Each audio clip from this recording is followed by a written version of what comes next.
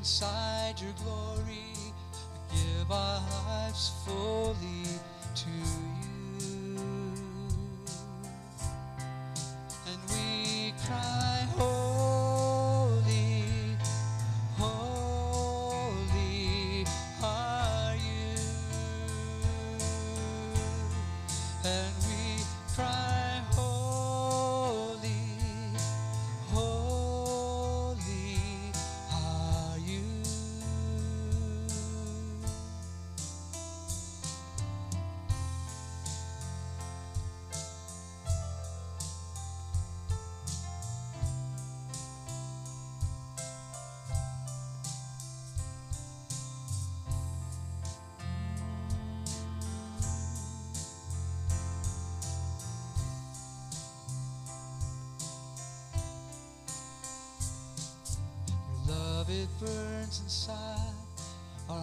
are satisfied by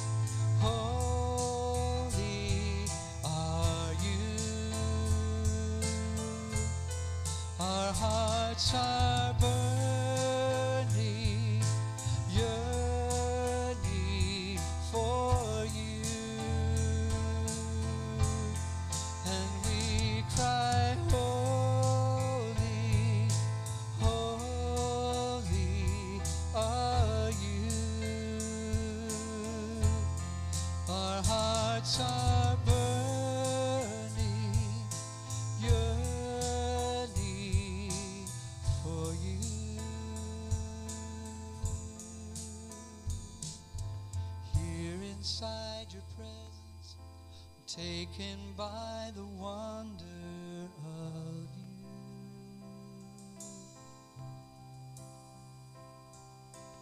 Here inside your glory.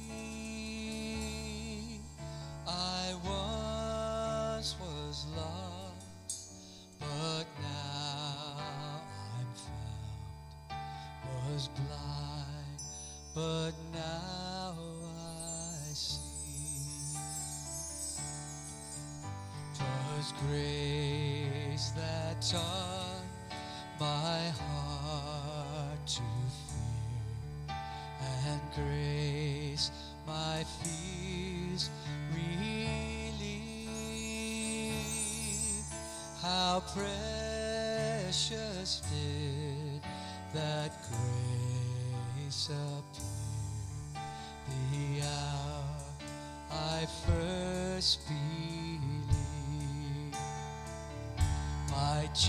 desire.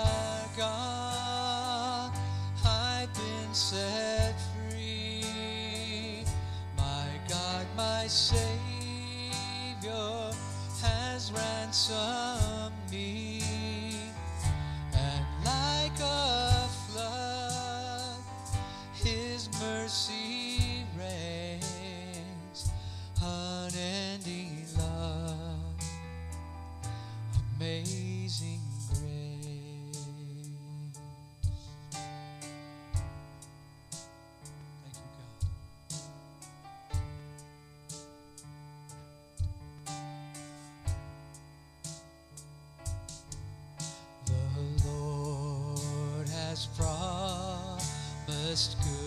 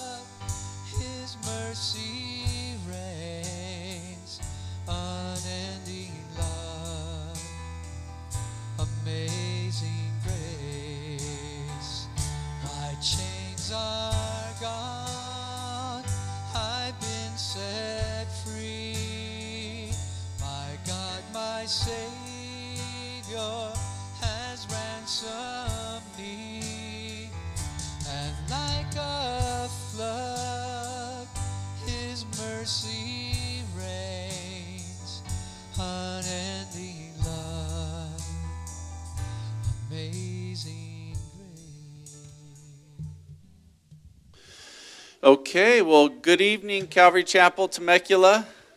You rowdy bunch, welcome to Wednesday night service. If you're joining us online, we want to welcome you to this evening service as well.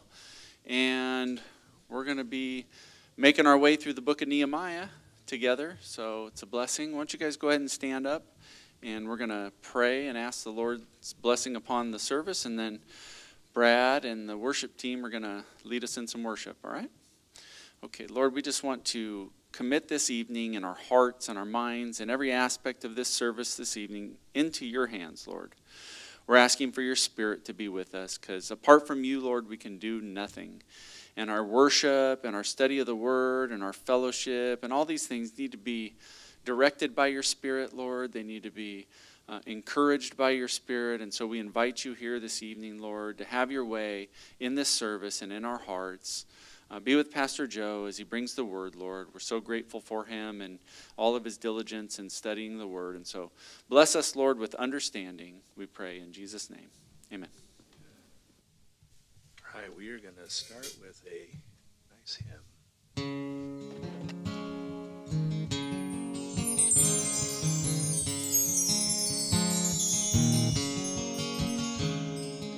Praise to the Lord, the Almighty, creation.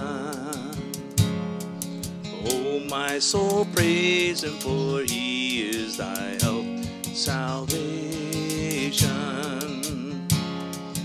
All ye who hear, now to His temple draw near.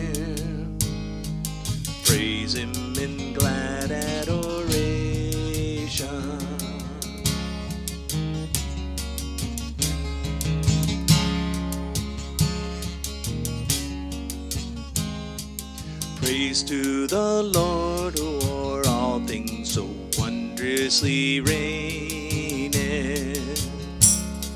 Shelter thee under his wings, yea, so gently sustaineth. Hast thou not seen how thy desires ever been? Granted in what he. Hallelujah. Hallelujah.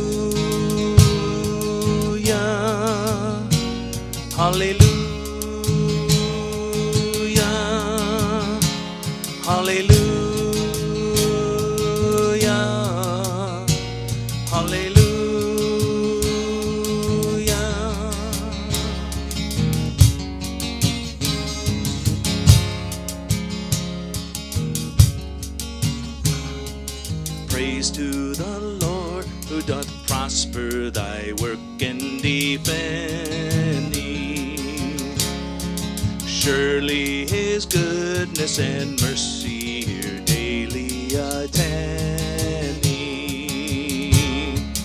Ponder anew what the Almighty can do. If with his love he befriend me. Praise to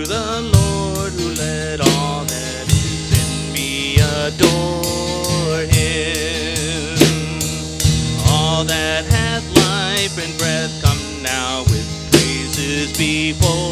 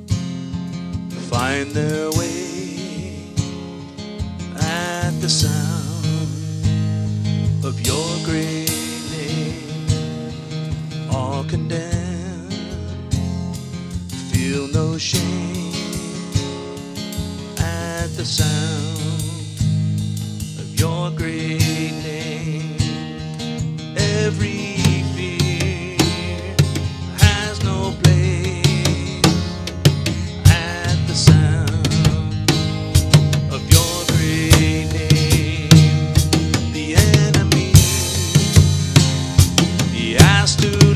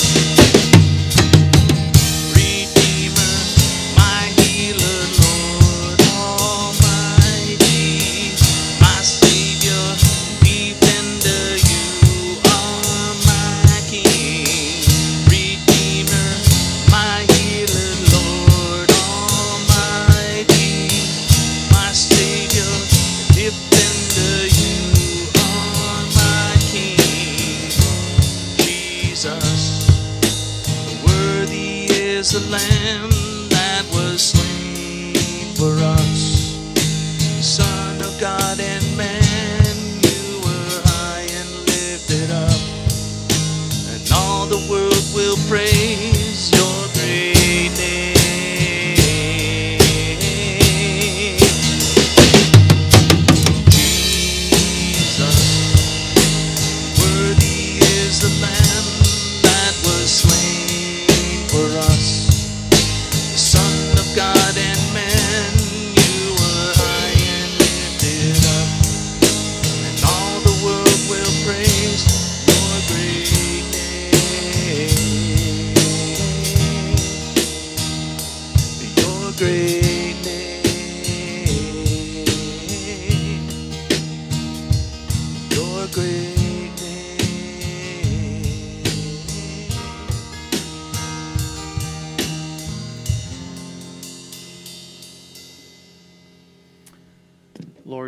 so great, and we thank you for meeting us here this evening, Father, for worship in the Word.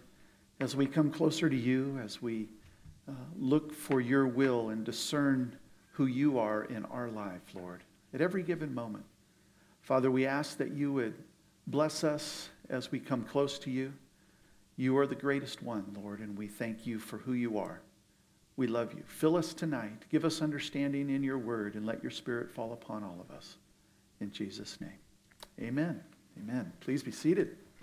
It's good to be with you tonight. And we are in the book of Nehemiah. Let's turn to Nehemiah chapter 4. Now, we've seen that Nehemiah was given permission by King Artaxerxes in the mid 5th century BC to go back to Jerusalem to build up the walls and to set the gates and to give them a better living condition and some protection from the enemies around them. And so Nehemiah makes this third journey back to the land, and he brings with him this uh, audacious notion that he is going to build this wall around Jerusalem and he's going to bring a better living environment for the people there. But in the meantime, we see that there was some opposition that arose between Sanballat and Tobiah against the work of God in Jerusalem. And the, um, Nehemiah prayed to the Lord. He, you know, he communicated with him and, and he asked the Lord to let it be his battle between him and those who opposed the work. And then in the rest of chapter 2, you find that there was a plan that was implemented. Nehemiah organized after his nighttime survey. He toured the wall, he saw the conditions, and then he put the plan of action in play. And we see now coming into uh, chapter 4 that this is where the opposition really arises in earnest. So, the next three chapters, you're going to see six different schemes or devices that the enemy uses to oppose the work of God, to take down what God has called Nehemiah to do. And we can also learn from it because this is probably the most clear exposition of how the enemy works to hinder the work of God. And so in chapter 4, we're going to see two hindrances. And then in chapter 5, another. And then the rest of those six hindrances will be seen in chapter 6. So the next three chapters look for how Nehemiah deals with the opposition. So notice that Paul wrote in 2 Corinthians 2:11 he says lest Satan take advantage of us for we are not ignorant of his devices or schemes. But sometimes we are ignorant of those things. They take us by surprise. We're not looking for opposition in what God has called us to do in the Christian life. And this is an important section for all of us because we all want to fulfill what God has called all of us to do.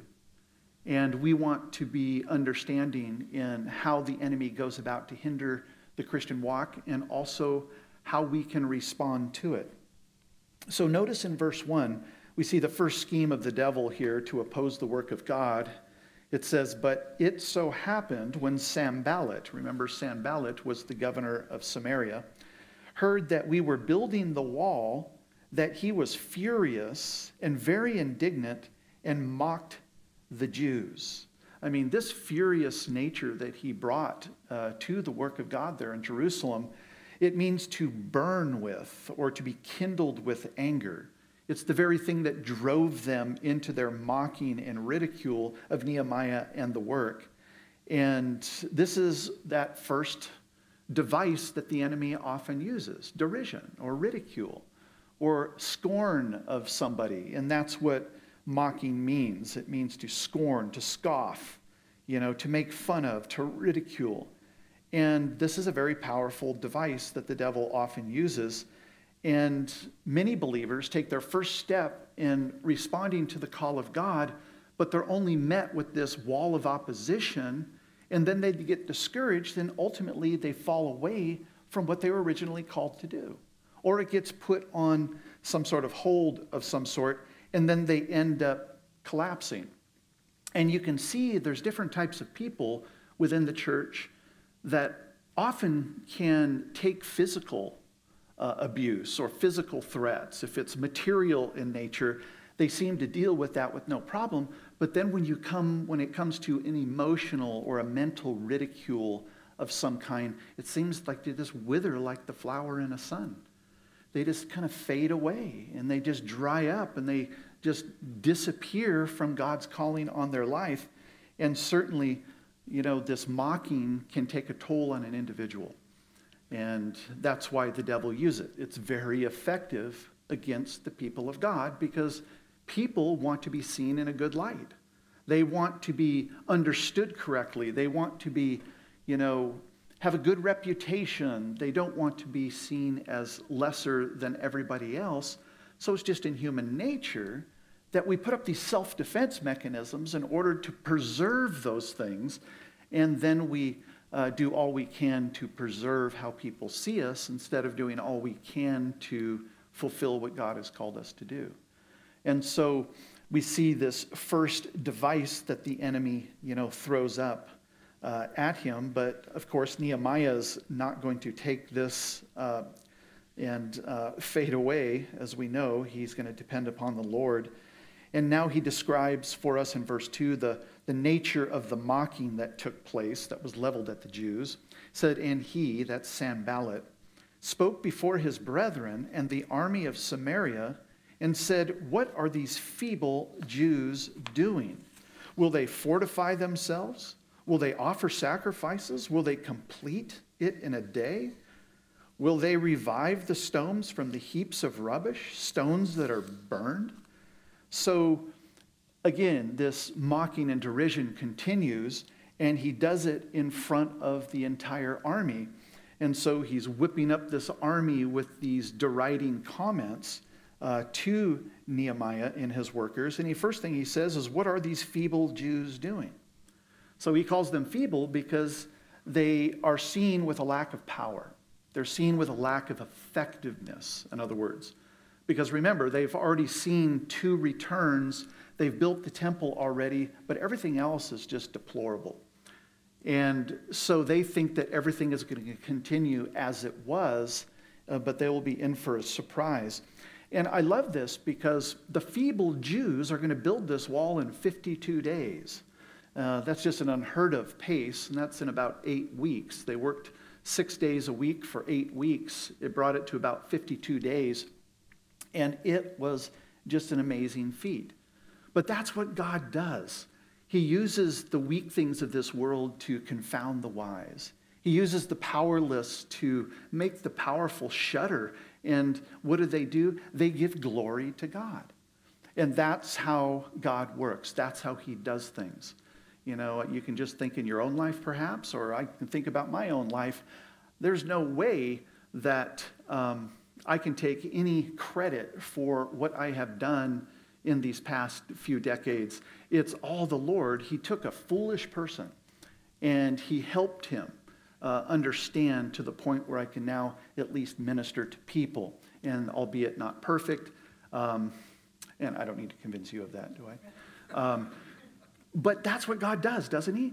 He just takes people, uses them, and God gets the more glory because of it. Just think about how He took the little nation of Israel. It wasn't even a nation at the time Abraham was called.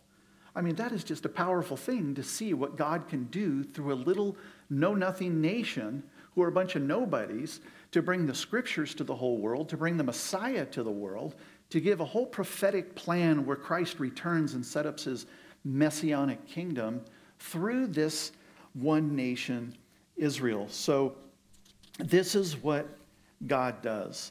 He gives us a job greater than our natural abilities to fulfill. I mean, think about that for a moment. He gives you a work or a calling that seems to be over your head because, number one, it makes you dependent upon Him. It helps you to cry out to Him for help and for grace and His mercy. But it also gives Him the greater glory in the end when it finally comes about.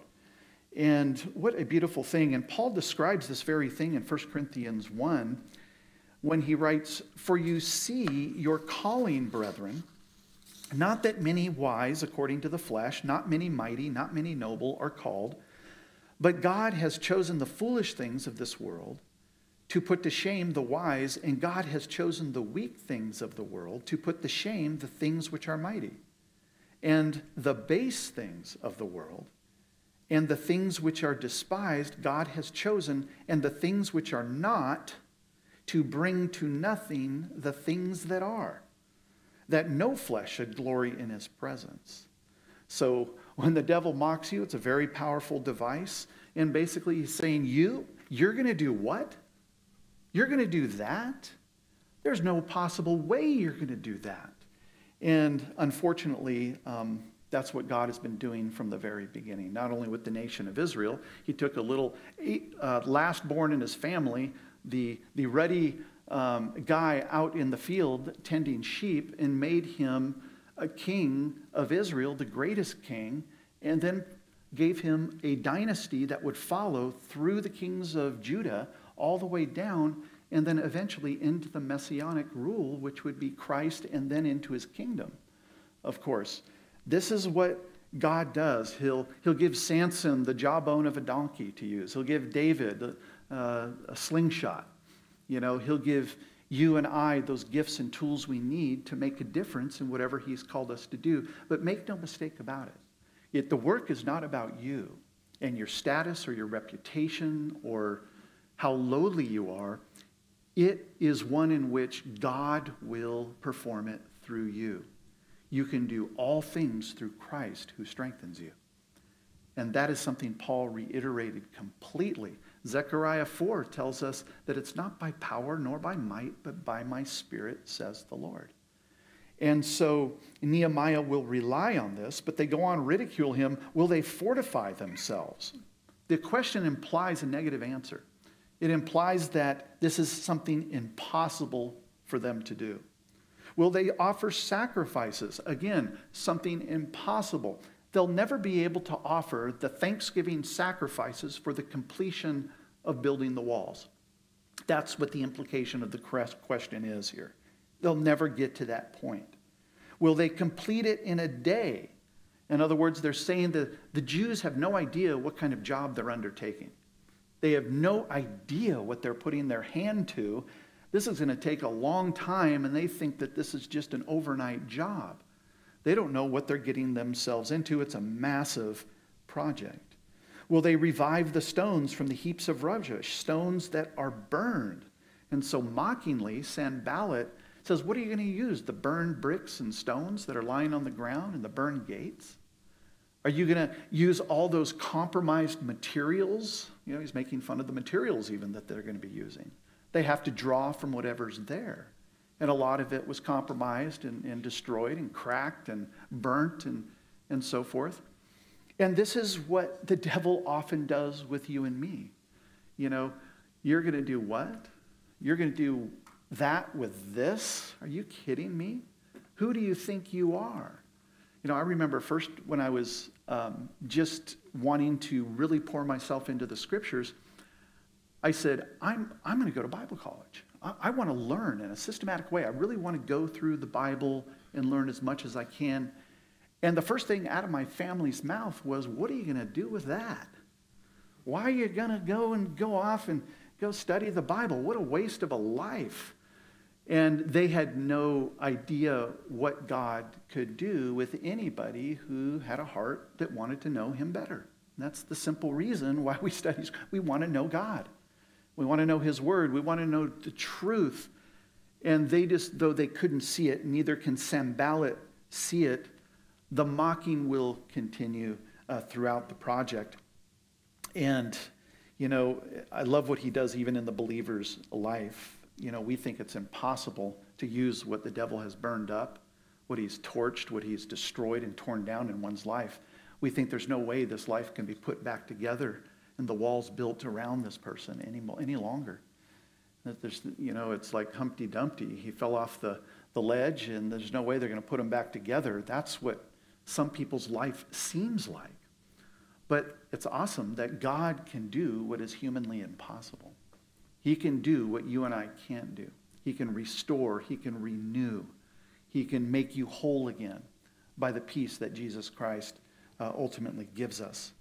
And then he goes on in verse 3 Tobiah, Sanballat's partner, joins in the opposition.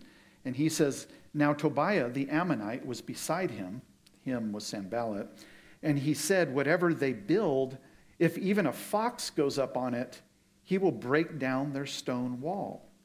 So even if they do uh, build these walls with all these compromised stones and materials, even if the smallest animal goes climbs on it, it's going to come tumbling down in two seconds. That's how much confidence they had in the Jews rebuilding uh, the wall.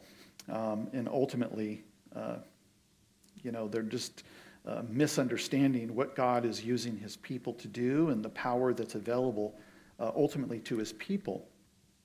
And most people have an inaccurate assessment of what God is doing. And then when opposition surfaces uh, to that misunderstanding of what God is doing, um, God proves them wrong. He just takes it and reverses it and shows how powerful he can be through working through somebody who's available to do God's work. And I love that for all of us because that means all of us are qualified for ministry. All of us are qualified. And what God builds, he has control over the destiny of what God builds. You know, let when two get married, two are joined as one, let not man put asunder. In other words, God will be the only one that can join and to separate. He is the one that's in charge of that. The same is true for all the work that you and I do for him. I mean, just think about the work that you've already done for him, and perhaps what does it look like today? You know, how has God used it? And what can He use in the future when He gives you more work to do? Uh, you should be confident and not uh, buy into the ridicule uh, that it's a weak work or that it's not lasting. Because everything you do in the Lord will last for eternity. It doesn't matter what happens to that work here on earth, and hopefully God can use it in any way He, he needs to and how He wills to use it but it will last for eternity in God's mind. He will remember it. And that will be a wonderful basis for some of your rewards. You'll be judged on those things, and God will reward you for it. But what does Nehemiah do to these uh, ridiculing, mocking questions? He doesn't start fighting and throwing rocks at Sanballat and Tobiah. What does he do? He starts to pray. And this is what we ought to do when opposition comes. Notice, hear our God, for we are despised. Turn their reproach on their own heads and give them as plunder to a land of captivity. Do not cover their iniquity, and do not let their sin be blotted out from before you, for they have provoked you to anger before the builders. In other words, what Nehemiah is doing here is actually praying an imprecatory prayer. Um, you can see those throughout the book of Psalms where David, you know, smite their jaw, break their bones on the rocks, you know, take them out, O Lord. Those are called imprecatory Psalms. And what Nehemiah is doing here is basically number one, he says, turn their reproach on their own heads. You know, make it backfire on them. And then give them as plunder to the land of captivity. Let them go away and be taken captive but Nehemiah is not being insensitive here. He's simply praying the word of God. Because back in Genesis chapter 3, God laid out his foreign policy. He laid out the consequences for people who curse the Jews, who oppose the Jews, and so forth. And it said, Cursed those who curse my people, basically. Bless those who bless my people. That is how God approaches these things. So Nehemiah or is simply praying what has already been stated to Abraham way back in Genesis chapter 12. And then in Joshua 1 5, he is praying for victory over his enemies, that his enemies will be defeated, so to speak. And so, prayer according to the word of God is always a good thing. Nehemiah prays that the ridicule would backfire and that his enemies would be judged for their attempt to oppose the work. And he spoke with God first, didn't he, here? And then he talked to men. We can't get those backwards. You know, he didn't start talking to Sanballat and Tobiah, he didn't start talking to his crew. He started praying to God, to the Lord. And when you get those things backwards and you start talking to people, and then after you talk to the people about the problem, then you start to pray about it, you always go back and think about your conversation and you think, how can I change that? You know, what words can I can I make different? Maybe I shouldn't have said that. And we start to try to repair all the damage that maybe we, we, we made without going to God and letting His Spirit direct us first. So, what a beautiful progression of how to do things. Prayer when opposition comes. And then in verse 6, notice Nehemiah's response is equally instructive to us. When he finishes imprecatory prayer, it says, So we built the wall, and the entire wall was joined together up to half its height, for the people had a mind to work. Now, some people simply pray, but it says here, so we built the wall. He prayed, and then he put his prayer into action. A lot of people just sit and wait to see what's going to happen by the Lord after they pray, and then they don't do anything until the Red Sea is parted for them and they can walk across on dry, dry ground.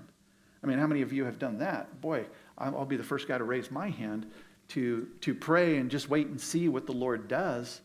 And there always is a time to wait and be patient. But in this time, he was already given the commission to do the work. Fulfill the work, pray and work. It's faith in action. And that's what the book of Nehemiah is all about. And so prayer and hard work would be his remedy when he faced the opposition. There's a spiritual and a human element in play here. You know, let God do what he can only do, and then we should be doing what we can do. You see, we don't just want to leave it all to God. He has determined from all eternity that he would use you to accomplish his will on earth in so many areas. And so we should be praying and doing. And the entire wall was joined up to half its height. So it's telling you that he's half done with the wall. Half done. So we're probably, if chapter 6, verse 15 says it was about 52 days or eight weeks, then we're probably about four weeks into its rebuilding and based on a six day work week. And so notice for the people had a mind to work because they were unified. We can get sidetracked. We can be overly affected by what everybody else thinks or by the opposition that comes against the work. And ridicule can hurt our feelings. And certainly, you know, sticks and stones can break somebody's bones, you know, but names will never hurt me. Names do hurt sometimes. And unfortunately, um, some people allow this ridicule to have an effect on them because they believe it or receive it. And you don't have to receive that. Just like Nehemiah, go to the Lord. The battle is the Lord's. He has already put a commission before you, and that's what we need to keep our eyes on is that work of God that he has given uh, to us. We're, we, we shouldn't respond in the flesh. We don't have to preserve how people look at us because the only person that matters, how he sees us, is the Lord himself. And being obedient is a very important thing when it comes to the work of God. You see, when you're more interested and desirous to being obedient to what God has called you to do, like Nehemiah was, and less interested in responding in the flesh, that's when obedience will win the day. Your love to obey God is more important than your love is to satisfy the flesh. And once that, that imbalance is maintained in the positive for God, then all this other fleshly responses don't matter anymore. They just don't, they don't have a hold on your life. They don't move you to, to either sin or to rely on your own power to do something. It's your love for God outweighing your love for your own will to be done. That's when good things happen. And that's what's happening here for Nehemiah uh, as well. To please God rather than to please man. And then notice he goes on to verse 7. There's a second device the enemy uses to threaten or to oppose God's work, and that's physical violence. Notice in verse 7. Now it happened when Sanballat, Tobiah, the Arabs, the Ammonites, and the Ashdodites heard that the walls of Jerusalem were being restored and the gaps were beginning to be closed, that they became angry. And all of them conspired together to come and attack Jerusalem and create confusion. So, Nehemiah's rapid pace, he's half finished with his project, probably sparked the ire of those who wanted to oppose it. And notice all the people he lists as Sanballat. That's the governor in Samaria, which was north of Israel. You have Tobiah, uh, and then you have the Arabs. The Arabs were south of Jerusalem. The Ammonites with Tobiah were east of Jerusalem. Then you have the Ashdodites, were on the coast. Uh, that's a Philistine city. And that was west of Jerusalem. So basically, he's saying that this anger problem and this threat to come to attack is surrounding Jerusalem. They're from the geographical areas that forms a ring around Jerusalem and they are going to do what they can um, and try to upset the work. And you know, it really, I think about this ire. Always, they're always getting angry. They, they have an anger problem. You know, it's like get some anger management going on in this. But you don't see that. You see them getting more furious and more furious and more furious. And that's what you do to the devil when you obey God you, you make the devil go reach for some digestive aids or some Tums or, you know, you just, you, you make him get so upset at God's progress through his people. And that's a wonderful thing to see happen. I mean, I'd love to see the devil get mad all day long. Of course, the consequences we have to be ready for. But when you obey the Lord and you start to follow his directives, that's what happens uh, opposition comes, you know, people who are upset at your work, people who want to destroy it or set you off track or get you off the rails, so to speak. Uh, that's what they want to do, and they'll use anything to do it. And so, this cabal of opposition that is formed by all these people who conspire together, notice it's a corporate plot to come to attack Jerusalem and create uh, confusion. And Nehemiah's response is also corporate prayer. Nevertheless, we, plural, we made our prayer to our God. This is the second time he goes to the Lord in prayer. Prayer is firing the winning shot. That's tapping into God's will, discerning his will, asking for things that you need, asking for that protection and wisdom all the way through. What a beautiful uh, tool that we have as Christians uh, to use. Pray to the God Almighty. And half the battle is simply to acknowledge that, that it's a spiritual war. You know, sometimes we, we go through our life and we don't even see the spiritual battle that rages above us, around us, behind us, just like they encircled Jerusalem. It's all around us. And it comes in from all directions, and we can't materially see it. And so we think, for example, that we it's just not happening, just not there. But boy, if we are, have our eyes open for just a few seconds to see what's going on around us, we would be astounded. I think we would all be praying constantly all day long. And that's why Paul said, pray without ceasing. And that's what Nehemiah did praying, resisting the devil, and he will flee from you. Uh, the book of James says as well.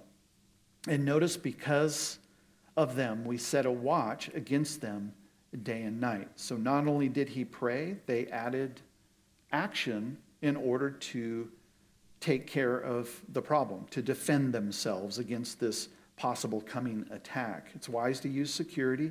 You got to think practically and spiritually. And that's what the whole book of Nehemiah is about, right?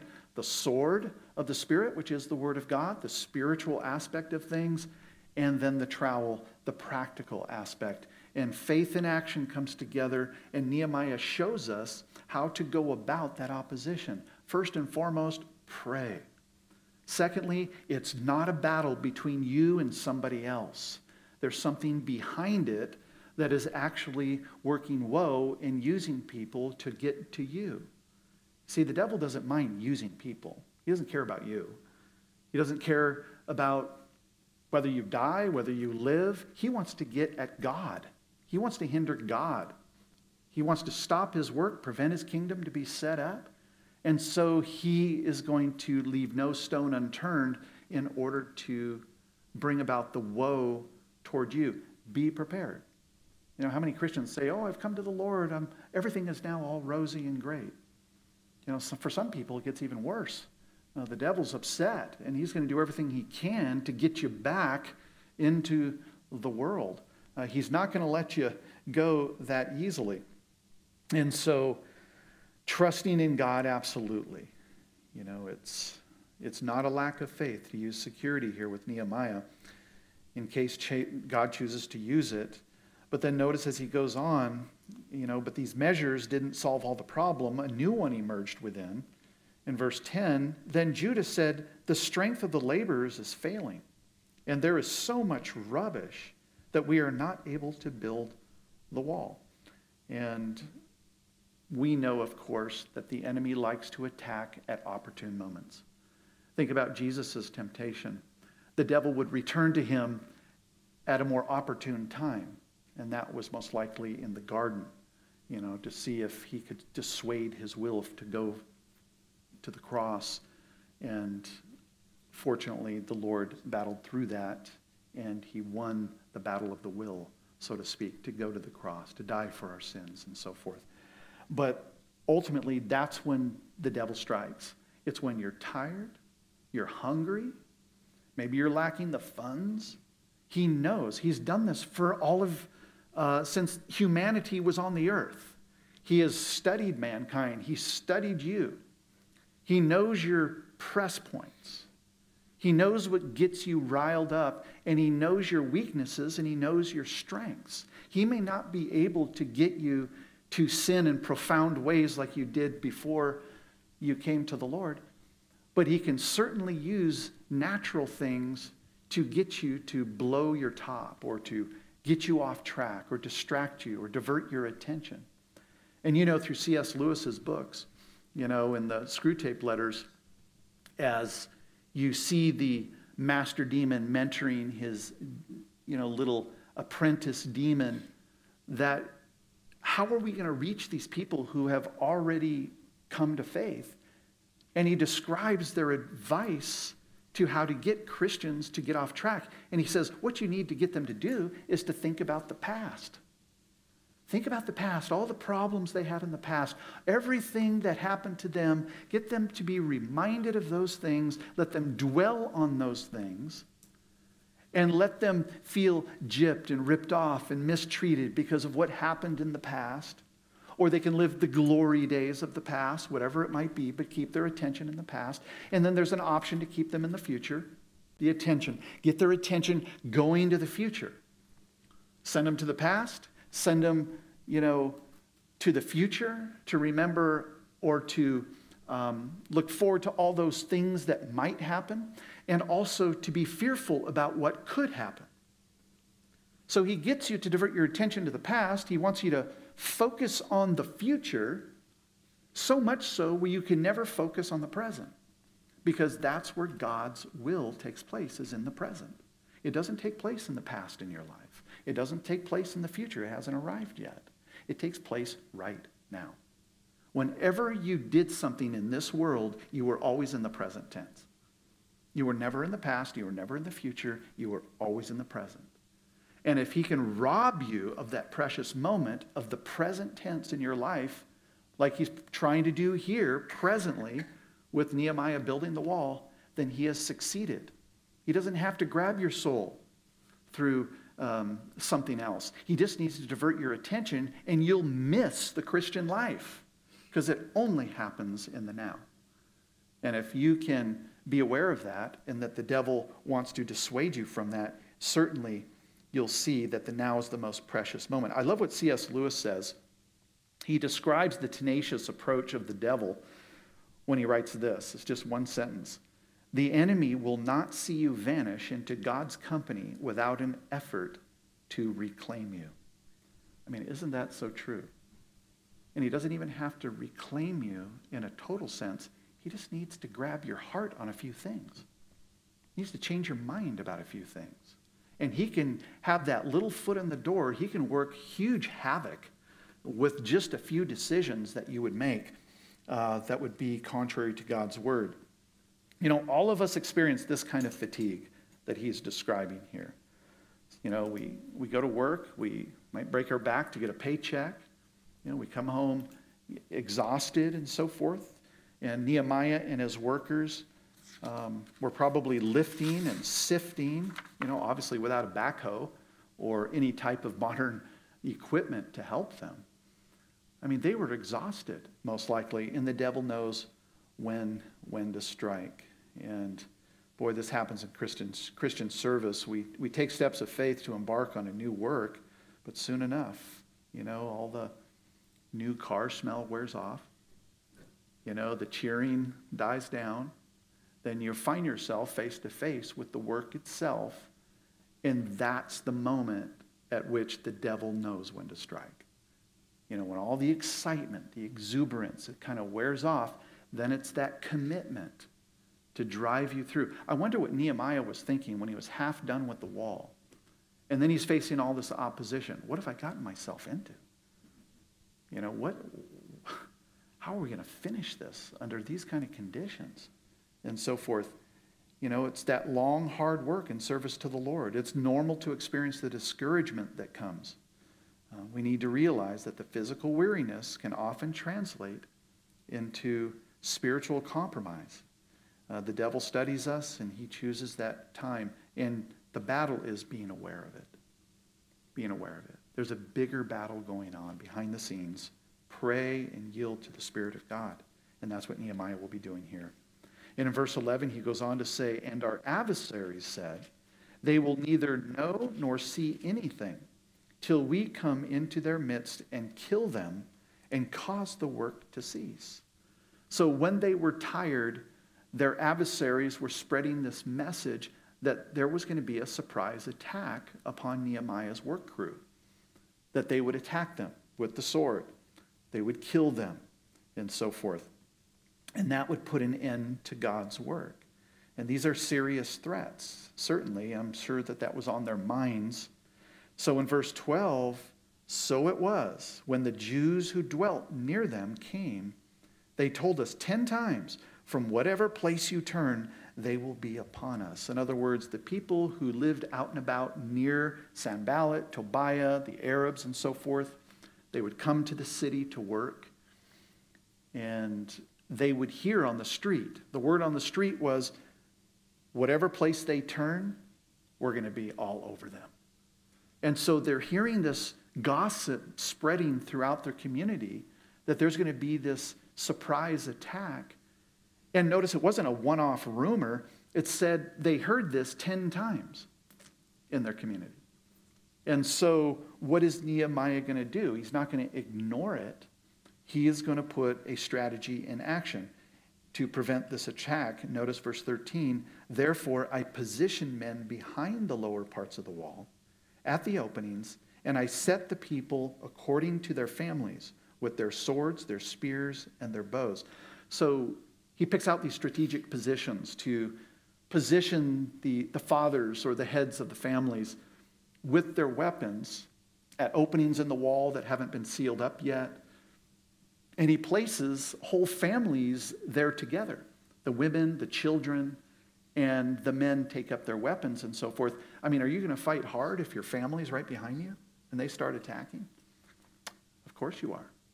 You know, they're, they're setting themselves up for an extreme high motivation for resistance to those who begin their attack because there are people who ultimately depend upon them to be successful in that defense.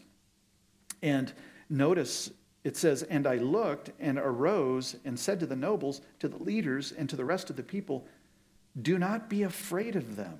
Remember the Lord, great and awesome, and fight for your brethren, your sons, your daughters, your wives, and your houses.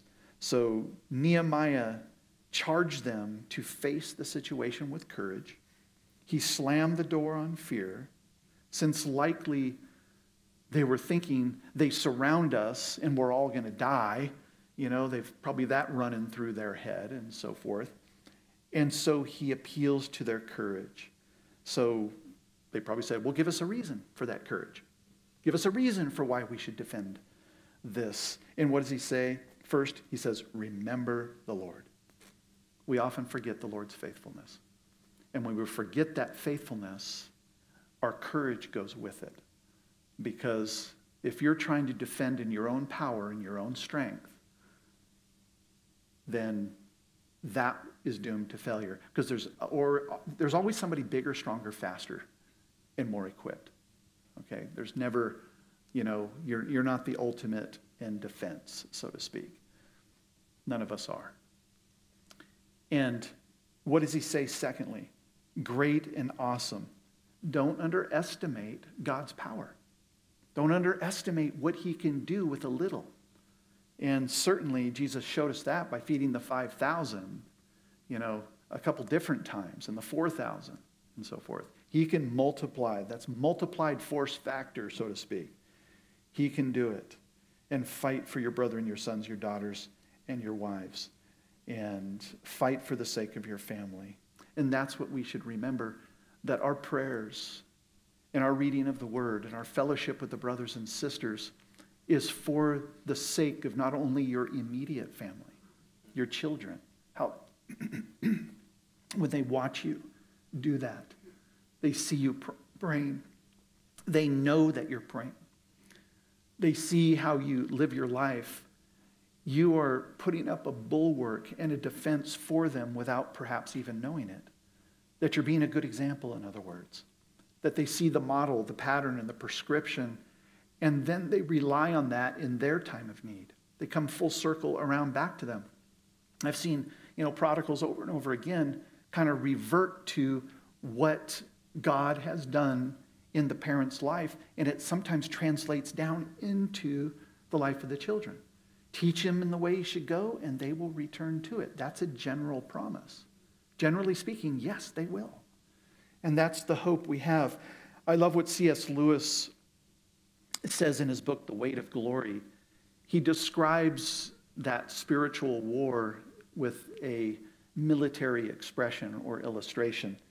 Notice what he says about this. He says, To be ignorant and simple now, not to be able to meet the enemies on their own ground, would be to throw down our weapons and to betray our uneducated brethren who have under God no defense but us against the intellectual attacks of the heathen. Good philosophy must exist, if for no other reason, because bad philosophy needs to be answered. And so his intent was to show how we shouldn't dismiss all ways of thinking. There's good ways of thinking and bad ways of thinking. The same is true when we are in that spiritual war. When you fail to pray, when you fail to get into the Word, when you fail to yield to the Spirit, it's like laying down your weapons that God has given you. You're not using those tools. And when you don't use those tools, guess what? The people behind you that don't know any better, that you love greatly, they suffer for it too. And that's something we need to keep in mind. It's not all about us, it's about the people around us, the people you love. And that is what we can learn from, from Nehemiah here. And there's no doubt, fear is a powerful force. It can be a dangerous thing if it's allowed to take over our thinking and our heart. I, you remember when the spies went into the land, when Joshua, or not Joshua, but um, the spies were sent out to spy the land out, and Joshua and Caleb were part of those spies. They came back, 10 of those 12 spies ended up having a negative report because they were fearful. Look how big they are. We're like grasshoppers in their sight. Look at their, they have walled up cities up into the heavens. There's no way we're going to overcome them. And fear took over. And that was a tragic day because they were sent back out in the wilderness for another 38 years before they came back. And that whole generation died out because of a lack of faith. They appealed, uh, unfortunately, to fear. And it began to seize them. But not only is fear a powerful force, faith is also a powerful force. You see, when you have faith in God, the God who loves you, perfect love casts out fear. And that faith in that loving God is going to help you have the courage and the strength to withstand anything that God puts you in front of. And you know what? I have no doubt that people within the church can even withstand so much physical and material punishment so to speak, when it comes to their finances and the things of life and so forth. But it's the inner things that are so very important. It's getting up off the couch when you're tired and you want and you need to serve your spouse. It's, you know, you know, I don't have time for that, though I know I should be doing that. I, I don't want to do that. You know, we, we make these decisions throughout the day that just seem to fly into the radar because they don't have a big footprint. We think they don't, but they actually do. And so by relying on the Lord, fear is neutralized. You see, fear neutralizes faith when you allow it to take over, and faith neutralizes fear. When you have faith in God, you're fearless. You can tackle anything. You can scale the highest mountain. You can come all the way back in life, so to speak, when you have faith in God. Because you know that the object of your faith is all powerful. He's all sovereign, He's all loving. And when you know that, you have the confidence to move forward. And that's what Nehemiah, I think, wants to instill, especially within his builders. He goes on to say, And it happened when our enemies heard that it was known to us, and what he's talking about here is the surprise attack was now, cat was out of the bag. We know what's going to happen. And that God had brought their plot to nothing that all of us returned to the wall, everyone to his work. So the element of surprise was taken away from Sanballat and Tobiah and that cabal of opposition. And they couldn't use that element anymore. So they averted a surprise attack by taking the right precautions and prayer. And then in verse 16, and because of this plot, Nehemiah instituted some changes here going forward to protect the people. So he says, so it was from that time on that half of my servants worked at construction, while the other half held spears, the shields, the bows, and wore armor. So he's saying that 50% were working construction, and the other 50% were actually continuing to work as masons on the wall. And he divided his forces, so to speak. And the leaders were behind all the house of Judah. So literally, this word behind literally means supported. That they were perhaps also standing guard and assisting the guards at, at the wall and so forth. So the nobles, the leadership who weren't given a job to do, they picked up the, the sword and, and supported them. Those who built on the wall and those who carried burdens loaded themselves so that with one hand they worked at construction and with the other held a weapon. Even one of the builders had his sword girded at his side as he built.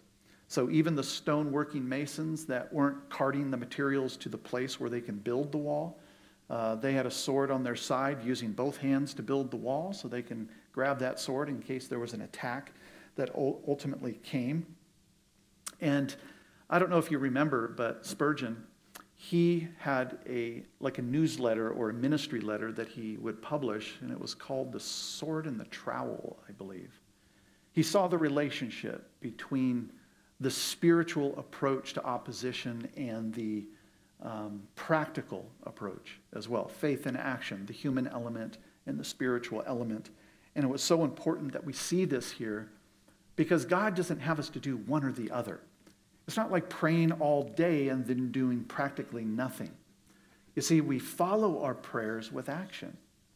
You know, remember, faith without works is dead.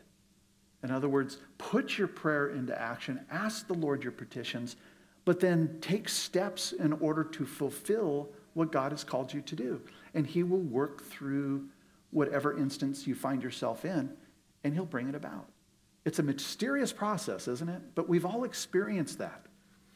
And that is something that can be very encouraging uh, to the church. And so the New Testament says that we have some wonderful tools at our uh, disposal. And the first one is the Word of God. Remember, the sword of the Spirit, which is the Word of God, Paul told the Ephesians. And that's important to know because it's truth. You see, truth is very important. And the second ingredient that he gives us to, to move through the Christian life and to do his work is love. You see, truth and love, because truth by itself becomes cold and hard, doesn't it? Without the love. It's a hard pill to swallow to get from the head down to the heart. But then you put the love with it, it helps it to translate from the head and people receive it that truth because that truth can be something they don't want to hear. It can go down to 18 inches into the heart, right? You see, but if you just have love without the truth, what happens? There's something else that happens, and that is your relationship becomes mushy. It becomes ungrounded. You're just built on emotions, so to speak. You see, it's the truth that anchors the kind of love that God wants you to use as a believer. And it's the love that anchors the truth that we give to other people. You see, truth in and of itself is dogmatic. It's cold. It can be very cold for some. You know, but love, mushy love, what kind of love is that? You know, that's got to be anchored in God's word as well. And the two working together form a powerful alliance to bring about God's gospel in the hearts of people. And notice what it says, and the one who sounded the trumpet was beside me. So this trumpeter would just follow Nehemiah all over the place. He'd just have his little trumpet, follow Nehemiah wherever he went, the trumpeter went. And if there was an attack, the trumpeter would just blow on that trumpet, and everybody would rally to the point of the attack because they heard the trumpet. And they would have this system, like a, a built in human alarm system uh, that he instituted as well. So, very wise, very practical, Nehemiah was to overcome this opposition. Then I said to the nobles, Nehemiah says, the rulers, the rest of the people, the work is great and extensive, and we are separated far from one another on the wall. Whenever you hear the sound of the trumpet, rally to us here and there. Our God will fight for us. So you can just imagine this huge project. They were spread out so far around that wall, there was probably workers and then troops and then workers and then troops. They kind of probably interspersed them around and they could get to that place of attack very quickly because of the trumpet. But I love what he says here at the end of verse 20. He tells us, Our God will fight for us. So again, Nehemiah encourages the people by reminding them that the battle is the Lord's. This is important to realize. When God calls us to do a work and people rise up against that work, God takes it personally. He takes it personally. It's like somebody putting their finger in his eyeball. It's not only irritating, it's inappropriate. Okay? And God will take measures to do this. If his people are attacked, he feels attacked. That's just the way God rolls. Do you remember in Acts chapter 9 when he had to appear to Paul, then called Saul, he says, Saul, Saul, why are you persecuting me? And this is long after Jesus rose from the dead. He ascended into heaven, but Jesus appears to him and says, Why are you persecuting me? You see, Jesus felt that the persecution of his church was persecution of himself. Me, he says. Doesn't say, Why are you persecuting these other people? He takes it personally. And certainly God will take it personally. He will act and we may not see how he opposes our enemies, but he is active in doing it. He's working behind the scenes, so be encouraged. God's will will always be accomplished. He'll do whatever it takes to get his work done through his people. So we labored in the work, verse 21, and half of the men held the spears from daybreak until the stars appeared. Wow, that's a long day. You know, till the sun comes up, till the sun goes down, and you see the stars in the sky. They took up arms to be vigilant, to watch the wall in case of an attack. At the same time, I also said to the people, Let each man and his servant stay at night in Jerusalem. So, in other words, those people who lived outside the city, who came to work in the city to build the wall, he said, Don't go home. It's too dangerous. Don't go home at night. Just stay here in Jerusalem. Um, just, just hunker down here, spend the night, wake up, and we'll start the work again. And certainly you can't sustain that for a long period of time. So there was motivation to continue getting that wall done, you know, quickly. And so notice verse 22 it says, At the same time, I also said to the people, Let each man and his servant stay at night in Jerusalem, that they may be our guard by night and a working party by day. So he's condensing, he's bringing together his forces. He's consolidating to be strong and to save time, to maximize the time that God has given him. And then in verse 3, he, 23, he wraps up and says, So neither I, my brethren, my servants, nor the men of the guard who followed me took off our clothes, except that everyone took them off for washing. So these were long, hard days. They basically are saying here that they wore their clothes even at night. They slept in their clothes. They didn't put on their pajamas. I don't know if they had pajamas back then, but you know, little furry shoes and stuff like that. You know, they, they just slept in their clothes. The only time they took them off was to, to bathe, to wash for cleanness and so forth. And ultimately, what a great lesson that is to always be ready. To always be ready.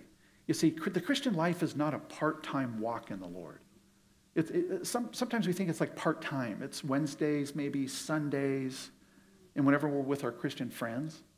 But no, you're to stay dressed and ready to serve the Lord at all time. What does Paul say in 2 Timothy 4? He says, Preach the word, be ready in season and out of season. He's telling you all the time, be ready. And that is something that we should take heart in and not letting your heart and your mind slip just because we're not at church or because we're not around Christian friends. That's when the devil can strike again, right? We have to, remember, we don't want to be ignorant as to the wiles of the devil. So let's beat him at his game by appealing to the Lord through his strength, through prayer, through the word, through taking practical steps to do what he's called us to do. It doesn't relieve us, relieve us of that responsibility to move forward in action. It's not all spiritual, it's not all physical. It is the sword and the trowel. It is both faith and practice. It is the word and the work. Okay? It's the sword of the Spirit, which is the word of God, and it is taking practical steps for spiritual self defense. And what a great chapter that is, Ephesians chapter 6. Wearing the whole armor of God. Can't wait to get there in our studies. So, what a beautiful thing that is. Let's take Nehemiah's words to heart tonight. Let's remember how he approached these things, especially not taking the opposition personal. God, why do you have it in for me?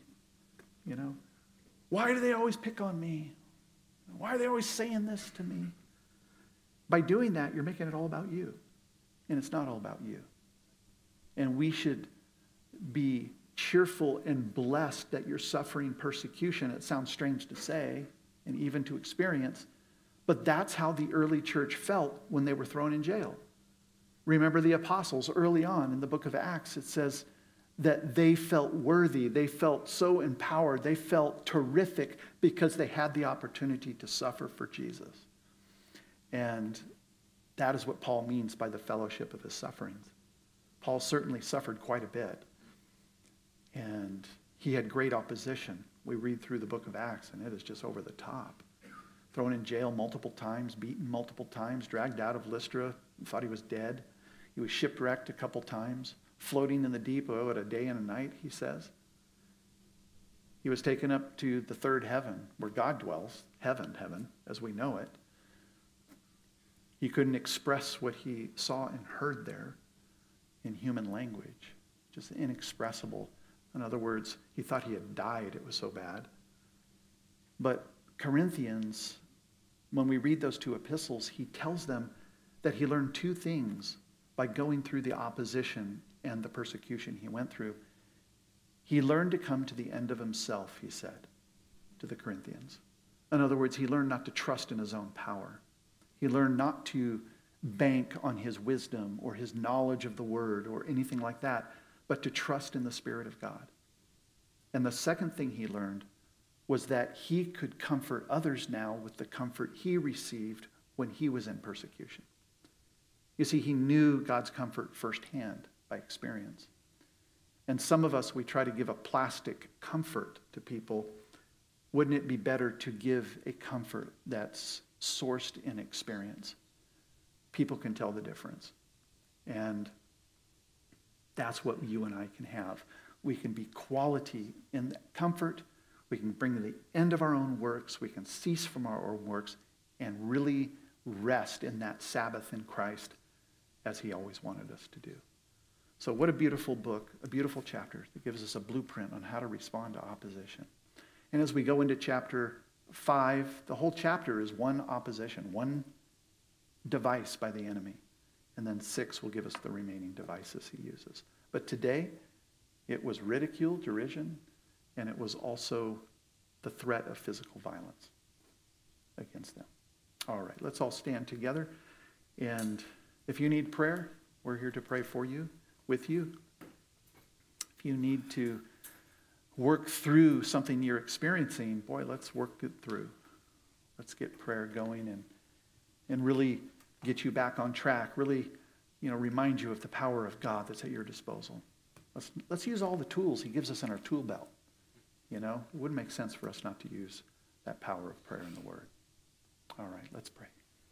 Lord, thank you, Jesus, for your goodness. We thank you for your wonderful power, your presence with us in good times and in trials. Lord, we pray that anybody who's going through opposition, Lord, that you would be there for them and that you would show yourself mighty to them. Lord, work either behind the scenes or overtly. Your decision, Lord but we rely on you and your strength. Use us, the nothings, to confound the wise. Use those things that are not us, Lord, to confound those that are, Lord Jesus, for your kingdom. Let us be faithful to you. And Lord, let us increase in our faith and let us understand that faith triumphs over fear. Lord, we love you and praise you in Jesus' name. Amen.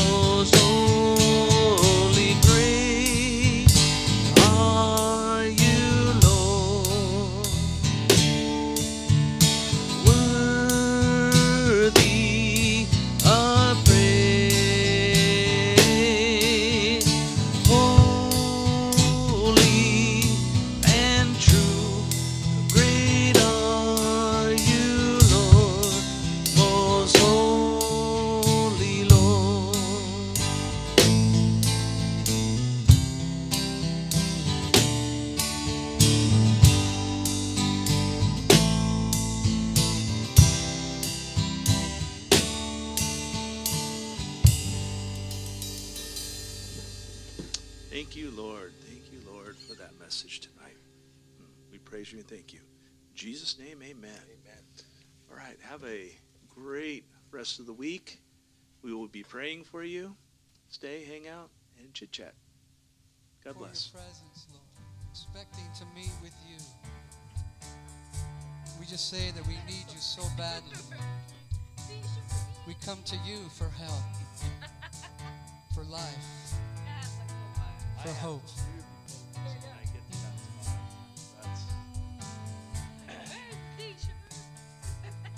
Breathe on me.